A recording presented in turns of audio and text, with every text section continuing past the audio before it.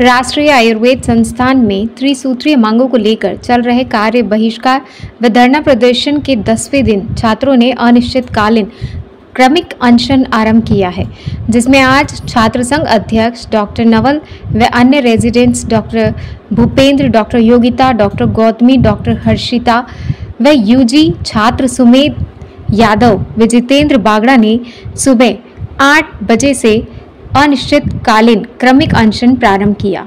गत चार वर्षों से रेजिडेंट्स व लगा छात्र लगातार अपनी त्रिसूत्रीय मांगों से प्रशासन को अवगत करा रहे हैं, परंतु लगातार प्रशासन इन मांगों को लेकर उदासीन व्यवहार दर्शा रहा है।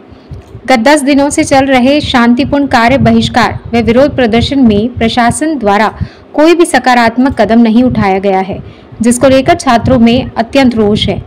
वह अब यदि प्रशासन कोई ठोस सकारात्मक कदम नहीं उठाता है तो सभी रेजिडेंट्स आमरण अनशन पर बैठने को विवश है। त्रिसूत्री मांगों को लेकर राजकीय संस्थान में सभी डॉक्टर्स हड़ताल पर बैठे हुए हैं। 21 तारीख से 24 तारीख तक सभी डॉक्टर्स ने काली पट्टी बांधकर शांतिपूर्ण तरीके से अपना कार्य किया। उसके बाद भी प्रशासन ने नहीं सुनवाई की।